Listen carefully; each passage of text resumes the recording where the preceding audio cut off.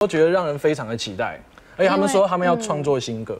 哦，对，就他们这个这个新的团体哦要创作新歌，你看三个人都想唱，你看到底会发生什么事？打鼓明明打鼓一支麦克风在那边一直饶舌也要麦克风，在这边。对啊，因为这个就很像之前就是像五月天也有那个演唱会的时候，五五六六去，哦。就那种限定组合的时候，你看到那个那个兴奋感，就是哇很激烈，很想在现场看一下。真的，我很期待他们有接下来会有新作品。哎，马马上会有哦，但是是一个新的，算是我本来以为犀利趴没有要办了，嗯。嗯，对，可能因为师大运的关系，但是现在又要办一个犀利趴，太好了，也是由领军，然后这个阵容呢有这个宇宙人郭顶，还有茄子蛋，哎呦。非常热闹。好想要去看看哦，可以而且不过一个更厉害的是哦，五月天要开演唱会，在北美，妈呀，去到北美了，好远啊。这真的是世界巡回的一个感觉，而且9月8号售票九月八号售票，到时候就要比大家的速度了啊。呃，接下来我们要看到的是，没想到他们那么忙，竟然还有新的 MV 耶。哎呦那故事遗忘的时光，起点是那平凡的成长。少年为了自己梦想，毅然决然跟父母亲闹翻，离家出走。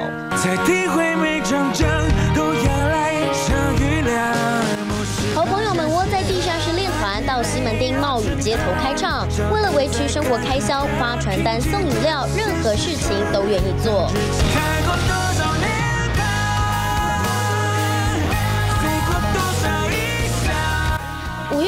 曲《成名在望》找来大陆当红男团 TFBOYS 成员易烊千玺担纲男主角。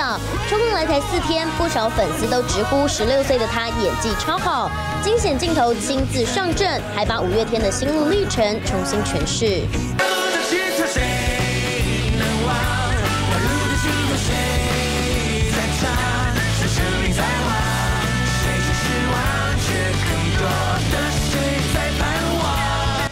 再被丢弃，直到五月天慧眼识英雄捡起这张卡带，仿佛就是当年的李宗盛不顾一切签下五月天的过程。但这支 MV 的彩蛋还在后头。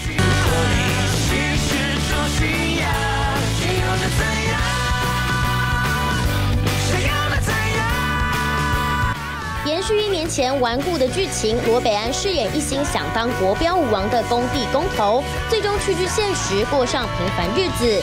这部 MV 耗资千万打造，如电影般的爆破特效，剧情中实现梦想的决心打动许多粉丝。